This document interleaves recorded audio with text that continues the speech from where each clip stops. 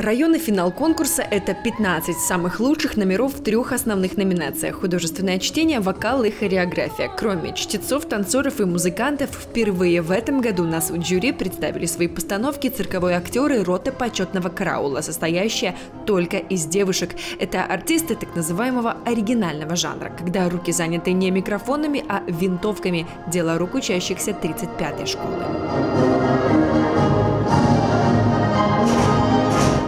Секрет, да, «Минута славы» — это проект э, телевизионный, оттуда мы взяли эту идею, и, в принципе, если у молодого человека, у ребенка есть какой-то талант, который он хочет показать, и он считает его достойным для публики, он имеет возможность прийти и проявить этот талант у нас на конкурсе. Выявление талантливой молодежи, выявление интересов молодежи, также он дает возможность получить опыт выступления на сцене, очень, э, очень много молодежи, которая впервые поднимается на сцену благодаря подобным конкурсам, благодаря Белорусскому республиканскому союзу молодежи.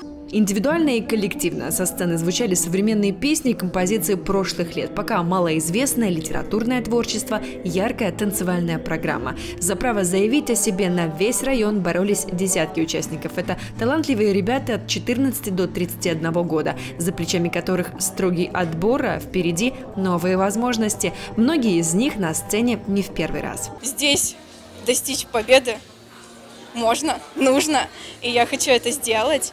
А, это, на самом деле, замечательный конкурс, участвую я также в нем третий раз в год. Для меня танцы – это как второе дыхание, наверное, это моя жизнь, без танцев, ну, я чувствую себя некомфортно. Когда мне грустно, я танцую, это поднимает мне настроение.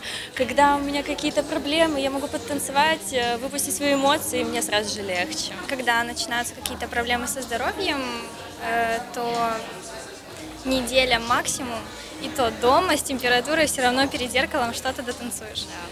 Победители конкурса – потенциальные участники городских, областных и республиканских творческих проектов. Но какой бы вердикт ни вынесла жюри, проведенную на сцене свою минуту славы, эти талантливые ребята запомнят надолго.